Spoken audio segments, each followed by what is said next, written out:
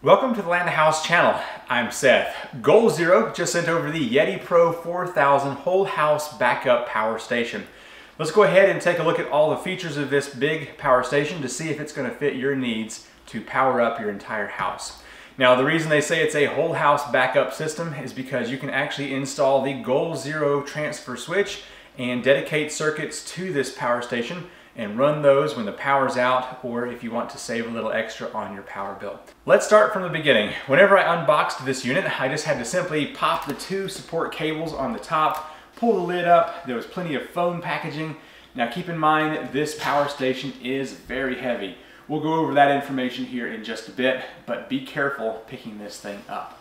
The unit has a roll around base on the bottom the unit seems to have survived shipping with no issues at all. All the foam that was on the corners has protected this from any kind of damage. Let's go ahead and take a tour around this power station, starting up here at the top. The power button can be found right here. There's a display that will be visible whenever we turn the power on.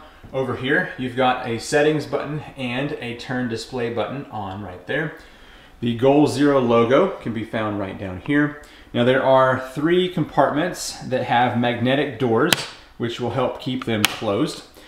So if I open up this one right here, you can see there are two 12 volt DC out barrel plugs right there, and also a typical car cigarette lighter style. To turn those on, you press right here. As indicated, they're all 12 volt. Moving on over here, you've got your AC output, 3600 watt continuous, 7200 watt peak, and that is based on all four of those outlets. In order to turn that on, you just press this button. Moving on over here, these are the USBs. There are six of them in total. You've got your typical 18 watt USB A over here. And then over on this side, you've got one 100 watt PD and two of the 30 watts right there. Once again, that button right there will turn those on. Now, if you move over here to the side, you can see there is ports for ventilation, a nice metal carrying handle, and it does have a grip inside. So I don't know if it'll show up there, but the grip will allow you to have uh, gloves on or not drop this very heavy power station. Now, if you look down here, there's a clip. If I were to pop that loose, I could actually remove the roll around base. So we will try to do that here in just a moment. Moving on over here to this side of the power station, you can actually see the wheels down here and there's another handle, more ventilation. Seems like it is all metal as well. Very nice. Turning to the back of the power station, there are three more doors we can open up. This one is for the inputs. Starting over here, this is the high voltage DC input, 145 volts maximum input. So you can do up to 3000 watts of solar input right here. Over here, you've got a low voltage DC input, never exceed 30 volts for that one. There is a push button reset in case the breaker is tripped on this. Over here, you've got your AC charging port for wall plug. Now, one nice thing to see is there is a low and a high toggle right here. So a typical house outlet can charge up to 1800 watts. And so you want to keep this on low. But if you have the option to charge, you can charge at a higher rate right there. Moving on to the next door, one thing that's really cool is there is actually a magnet right up in here that will hold this door open magnetically, so you don't have to uh, hold that open manually. There's a 12 volt DC output with an Anderson plug right here. You've got your 120 volt 30 amp output. We'll be using that to power up the transfer switch here in just a moment. And then here is the Power Plus plug right there. Moving up to the last one over here, this is where you can find the ground, the expansion battery port. You've got a couple of AC breakers, and here's the pair button, so you can pair this to your uh, phone app right there. All right, that's a look at the back of the power station. I'm going to press the power button right here and turn this unit on, and we can see the display right here. On this side, it's showing there is currently no watts on the input. It was shipped at 86%. There is no output, and it actually says the battery is cold 3 degrees Celsius over here. It is cold in my shop, so we may have to warm this up before we charge. Let's give it a try. When I press this button, it should turn off the display, and it does. Press it again, and that turns back on. Looks like the cold battery warning has just gone away, so perhaps we are safe to charge now. Included with the Yeti Pro was one AC power cord. Now you'll notice there is no big block or uh, adapter with this, and that's because the AC to DC adapter is included inside of the unit, and so we don't have to worry about carrying around one of those big blocks. Very nice to see. It also has a packet here, and it just has the uh, information on how to install the app, and there's also a booklet that has plenty of information in the user manual. So We'll go over some of that here in just a moment. I'm going to lift this flap right here, make sure my input switch is turned to low, and it is. Then I'm going to plug this up right here, and that should allow us to charge this unit. Although the warning message went away, I am still seeing a indicator right here, which looks like a little snowflake. Let's see what that's about. Quickly checking the user manual, I see that that indicator shows that the battery state of charge is cold battery. So let me go ahead and roll this power unit into the other room where there is a heater and I warm this thing up even though this room is above freezing uh, so the battery just shows that it's too cold to charge. This took a lot longer than I was anticipating. The temperature in here when I started was 45 degrees, well above freezing. I put this heater in this direction and plugged up this heater into that direction and it has taken 45 minutes in order for this thing to warm up enough to get the uh, light to go away, showing that it is a cold battery. So, uh, well, I do know that the AC is working well, but we'll get to that in just a moment. So let's go ahead and turn this heater off, and we'll go ahead and turn this one off as well, and see if we can't get this power station to charge now.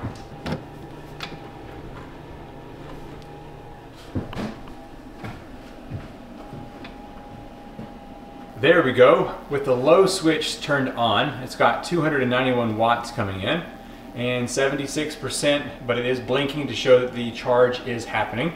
So let's go ahead and flip over to the high setting on this switch back here. And we should see this jump up close to 1800 watts.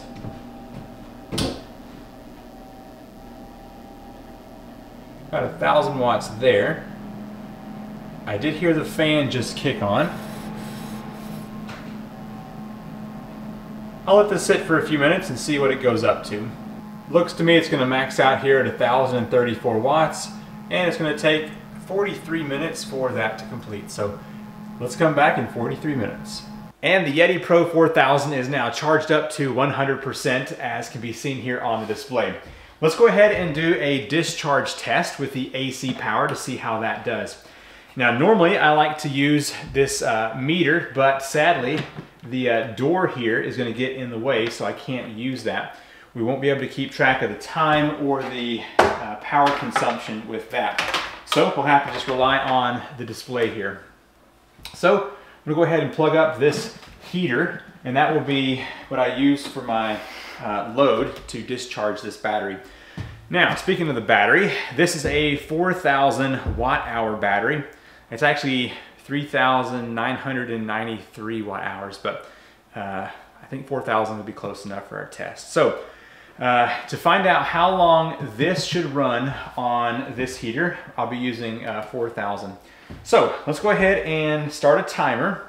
All right, so I'm gonna go ahead and make sure the AC is on here. And then I'm gonna turn this heater up to its maximum setting. All right, that's going. We've got uh, 1,303 watts currently. We'll see if that changes in just a moment. So, uh, that being the case, let's find out how long this battery should be able to last here. So if I say 4,000 watt hours times 0.8, because we're only going to use the top 80% of the battery in here, that's 3,200. So with 3,200 divided by the 1303 watts. That's uh, two and a half hours or 2.45. So let's see what we get. Now the display up here says empty in 3.1 hours. So let's just consider the 4,000 divided by 1303 is uh, 3.0698. So if that's the case, maybe they're not uh, removing that top 20% of the battery. So time will tell to see what we end up with. Uh, where the timer here versus when this shuts off. I missed the exact moment that the inverter turned off for video purposes. We've got two hours and 39 minutes. The calculation with 80% of the battery was two hours and 27 minutes. So this unit actually did very well. Very glad to see that. All right, let's move on to the next step of this review. After doing the full discharge test with my little heater, I plugged up the power station and nothing happened. The display over here was saying that there was uh, low voltage for the inverter, and so I turned the machine off, unplugged everything, and then plugged the power cord back up, and now we're getting 1,715 watts. Pretty good input there. It's going to take that 2.4 hours to fully charge this from, uh, well, 6% now. So uh, once that is uh, charged up a bit more, we will continue doing our tests with the 12 volt, more AC, and then some of the USB as well. I feel like that was a successful discharge test. One thing I'm noticing is this thing attracts dust like you wouldn't believe. So I've been uh, just wiping it off here with the cloth. So now that we've seen the AC working and done a full battery discharge, let's test out some of these DC uh, ports over here and then also the uh, USB over here. So first of all, go ahead and turn the unit back on. I've put a charge on here to, what was it, 18% I think? Uh, yeah, 18%. You can turn that display on and see that a bit better. Okay. Uh, so first of all, I've got an air compressor. Let's plug, well, first of all, I'll turn 12 volt on. Plug this up. All right, that starts up immediately. Go ahead and press the power button.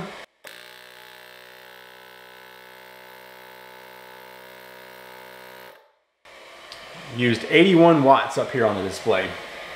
All right, good. So that works just fine. Remember to turn that back off when done. Now move over here to the USB, turn that on.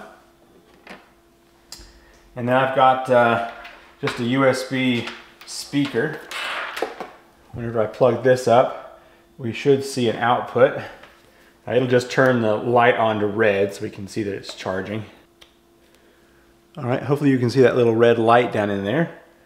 And let's see if it gives us an output. It says the USB is turned on, but I don't see an output. These things only charge at one or two watts anyhow. All right, so that's working just fine. One of the cards inside the information packet says there is a Goal Zero app. However, there's also a card over here that says the Yeti 4000 is not ready yet for the app. So we won't be installing that. Now the Yeti Pro 4000 is advertised as a whole home backup. Now how does that work if you open this up and you only see these four receptacles? Well, if you recall, on the back of this unit, there was a 120 volt 30 amp plug. And that is to be used with this power cable right here. And this will go to a transfer switch.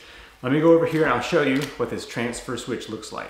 This is the Goal Zero Haven 10 transfer switch.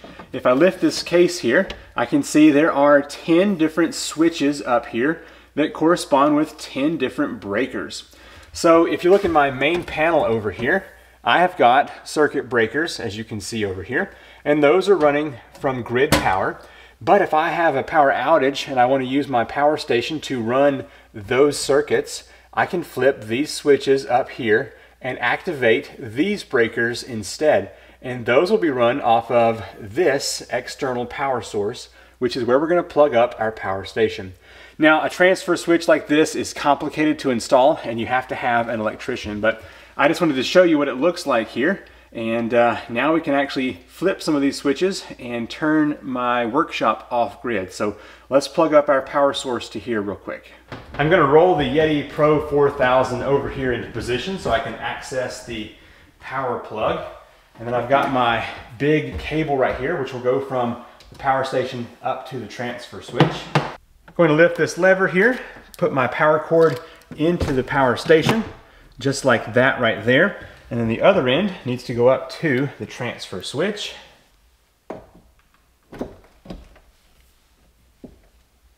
Now that I have the transfer switch plugged up, it's time to start flipping some of these switches and my lights will go out here and we'll flip them back on and it'll be running from the power station. So let me see where my lights are since I haven't named this yet. All right, there's one of them.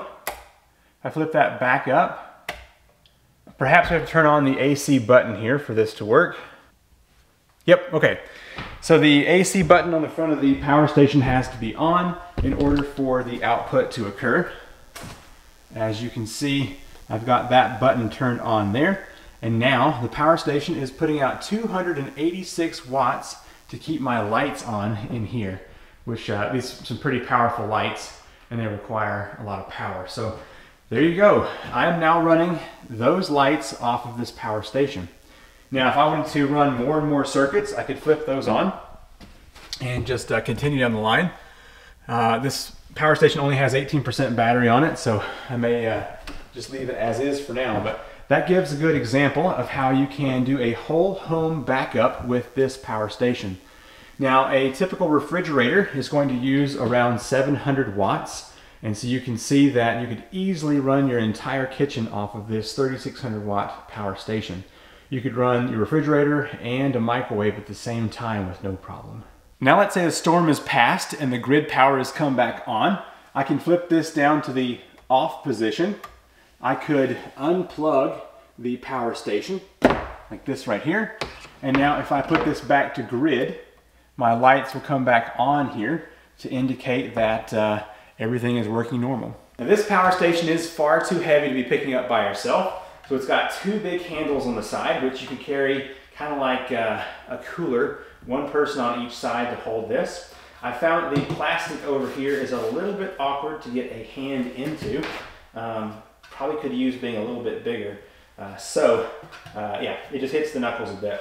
However, the cart does have a push out handle down here. So I can pull that out and simply just tilt this up and then roll it around and that is a much easier method of moving this.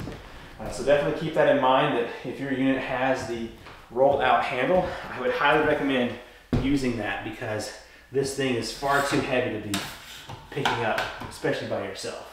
Speaking of the cart, if I undo this clasp down here, I can then remove that uh, cart by picking this up and pulling it off of that. Let me see if I can do that real quick. This thing is so heavy. Uh, yep. Okay. So I can put that uh, down there and you can kind of see what that cart looks like. It's got the two wheels on the back. It's got the handle that pops out there from the middle. Here's the clasp, does fold down.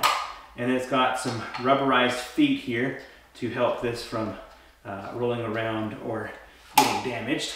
And let's see how easy it is to put this thing back on here. Oh yeah. Ugh. So this side over here first. There we go. And then clip that side. All right, very cool, not bad at all. A few thoughts on the Goal Zero Yeti Pro 4000. First of all, it's very heavy, so be careful when you pick this up because I don't want you to get hurt. It does have a roll around cart, which is nice, or you can uh, buy other attachments for the base of this unit. The menu system is a little bit uh, clunky to work through as far as going through settings, but as far as the display goes up here on the top, very simple. You got your input and your output, and that is quite easy. Now, as far as the ports go, a simple one push button turns them on or turns them off. And as we found out, the 120 volt 30 amp plug on the back is also controlled by that button on the front. So you have to make sure you turn that on as well. Now, there is an app for this machine, but it's in the early development stages as uh, per this video. And uh, so this does not connect to it just yet. So I can't testify of whether or not that is going to be uh, helpful or not. Um, hopefully they have some good things in store for that app. As far as the battery capacity, that was right on spec. The DC ports all seem to work just fine. And also hooking up to the transfer switch was fantastic. No problems there whatsoever. The transfer switch for the UPS inside of this is also very quick. So if you have a computer hooked up and the power goes out, it will uh, transfer the power from the grid to this battery immediately and you won't lose any power from your computer. Now, this thing uh, had some issues with charging when I first pulled it out of the box. My building here has been uh, 48 to 50 degrees now for several weeks and this unit still said it was cold. So I actually had to take a couple of heaters as you saw and blow into this machine to get it to go. Uh, it's supposed to be able to charge at 32 degrees and above. So I'm not exactly sure what was going on and why this was saying it was so cold.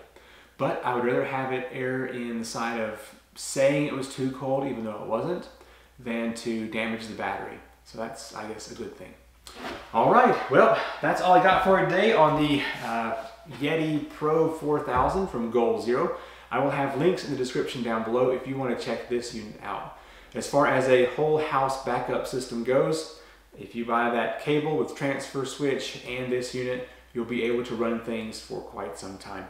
Like I was saying, refrigerator will pull about 700 watts whenever it's on, and of course it cycles, so you could run a fridge for a couple of days off of this power station. I'm Seth with Land House, and I will see you in the next video. Bye.